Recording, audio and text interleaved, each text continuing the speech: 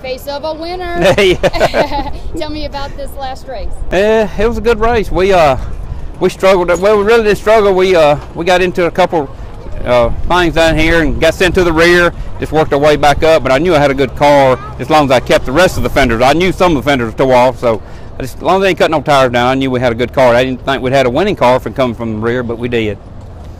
Tell me about the tires, because those are that's something new for you. Right, yeah, the tires, that's the best thing that uh, Tony's done for this division, you know, because one thing, it saves us about $400 a, a race on tires, and uh, plus it makes, you know, I run on outside for three or four laps and made a real good race out of it, and that's what we're trying to do, make side-by-side action down here.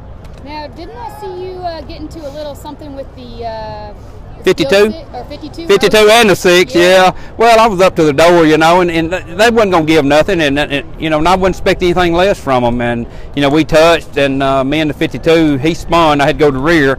Now the six, you know, he spun, and uh, they put him in the rear. And uh, but you know, I was up to the door, but you know, I'm sure they don't think that, but I do, and uh, you know, maybe uh, maybe everything will be okay. But you're racing again, right? I'm racing the super truck, yeah, for 50 laps, and uh, we got a decent truck. Didn't qualify as good as we needed to, but uh, I think we'll be all right in the race. All right. All We'll right. Hear from you later. All right, thank, Thank you. you.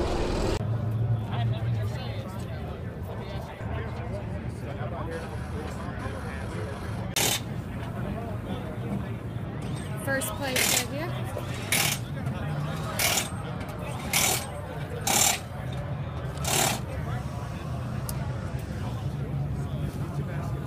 Third place.